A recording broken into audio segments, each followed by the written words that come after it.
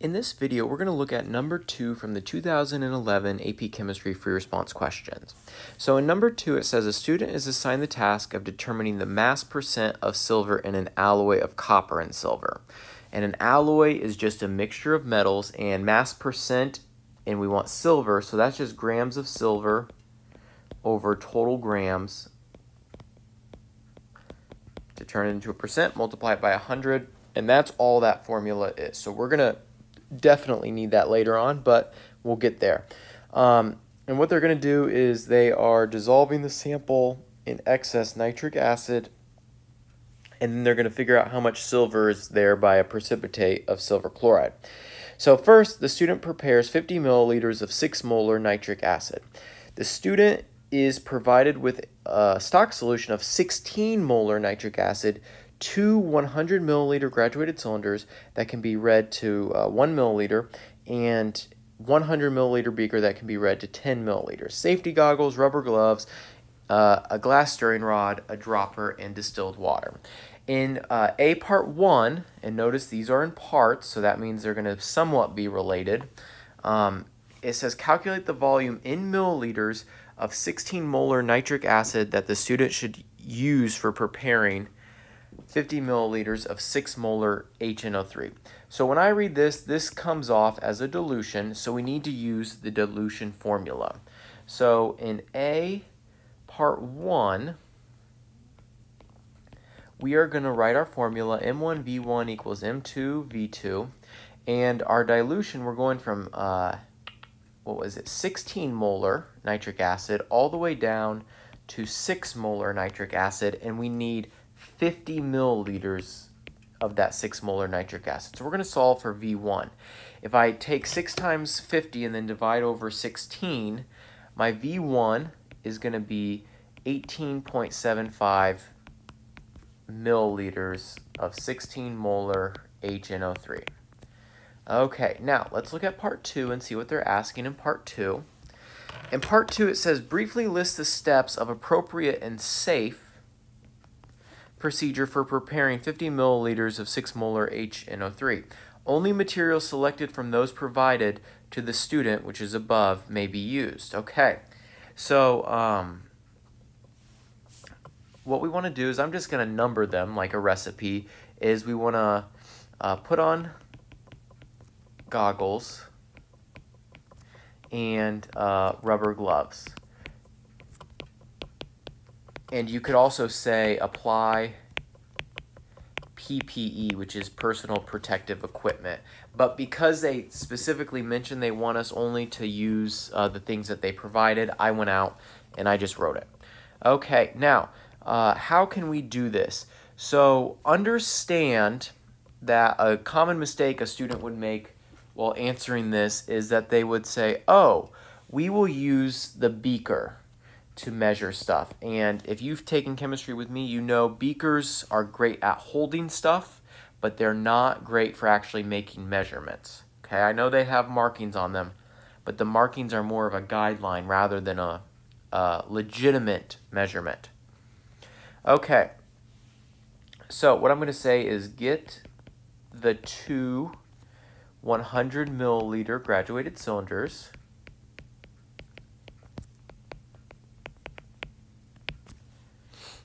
Uh, as those give the best measurements with what we have.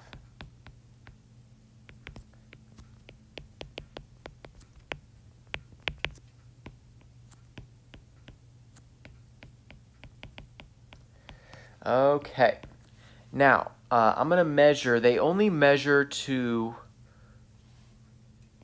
the ones place, so we can measure out one place further. So instead of measuring 18.75, we're going to have to be stuck with 18.8, and that's totally fine for the level of lab work that we're doing here. So we're going to measure 18.8 milliliters of 16 molar HNO3 using the 100 milliliter graduated cylinder.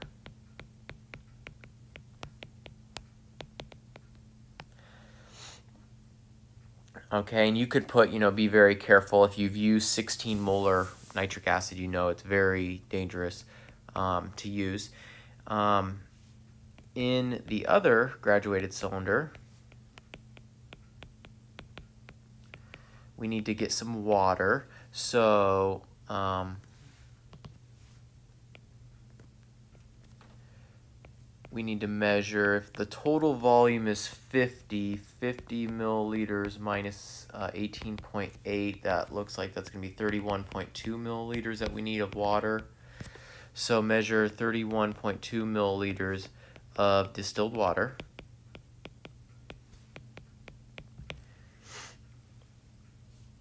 And then uh, the saying is we always add, it says, be like an otter, add acid to water. And you do that slowly. Just slowly add acid to water. Um, so we're going to pour the 31.2 milliliters of water into the beaker and slowly add the 16 molar uh, HNO3 while uh, stirring. Okay, you may consider even using the dropper.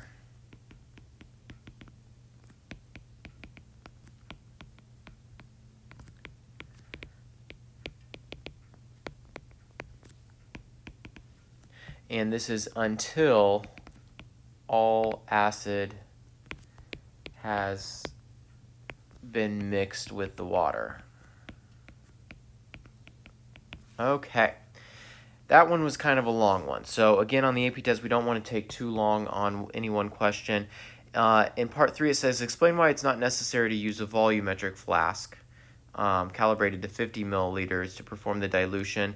And the answer to that is very simple. Um,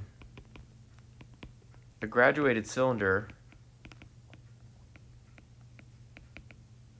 cylinder is a piece of volumetric glassware.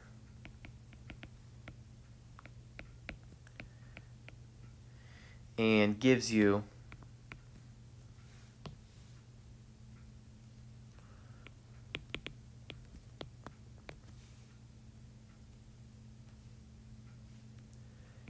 enough certainty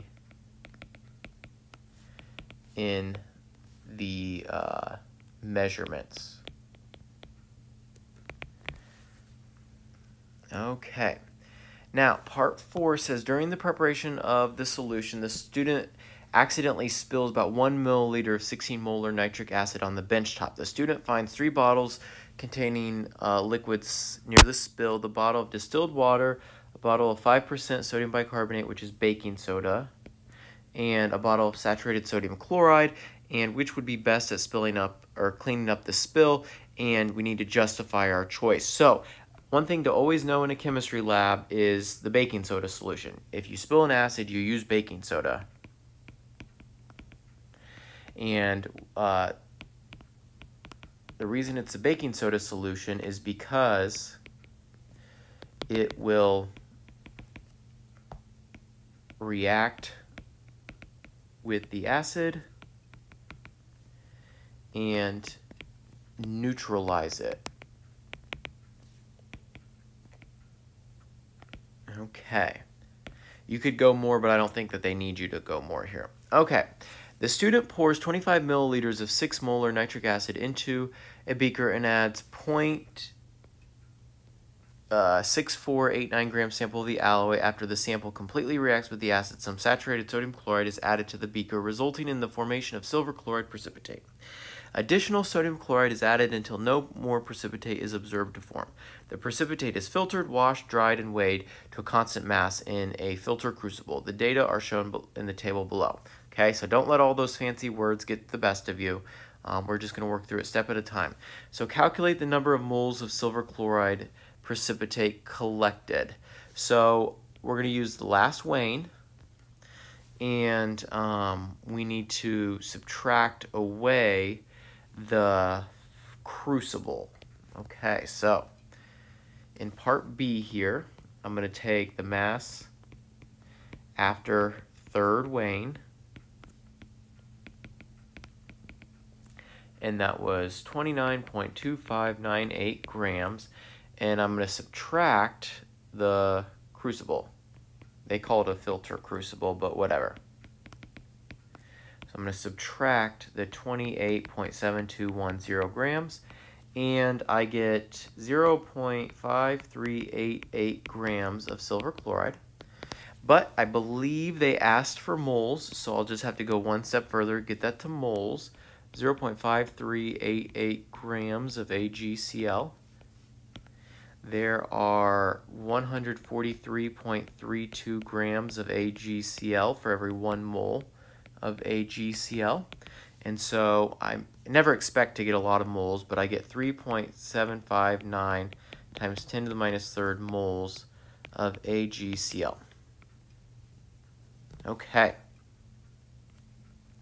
Now, in part C, it says calculate the mass percent of silver in the alloy of copper and silver.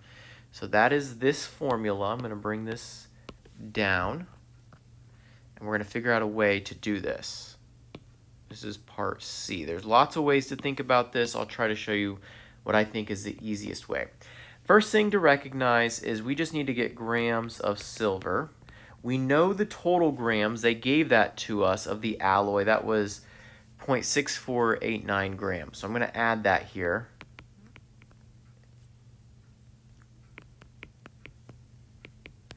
And then we'll multiply it by 100, and then we'll get our final answer. So I'm going to already box where my final answer will go.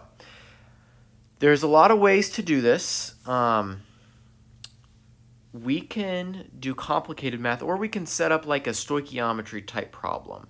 So we can say that 3.759 uh, times 10 to the minus third moles of AgCl, and I just want the Ag out of this. So one thing that's a little bit weird is I can say that in one mole of AgCl, there's going to be just one mole of Ag, and be, that's because the ratio between AgCl and Ag is just 1 to 1. And then I can say that in one mole of Ag, according to the periodic table, there's 107.87 grams of Ag. And so uh, I'm going to get 0.4055 grams. I'm going to then plug that up here, 0.4055, divide it, and when I do, I get 62.49% silver. And I feel good about that answer because I didn't get a number bigger than the total. When you get percent by mass, you should always get a less than 100%.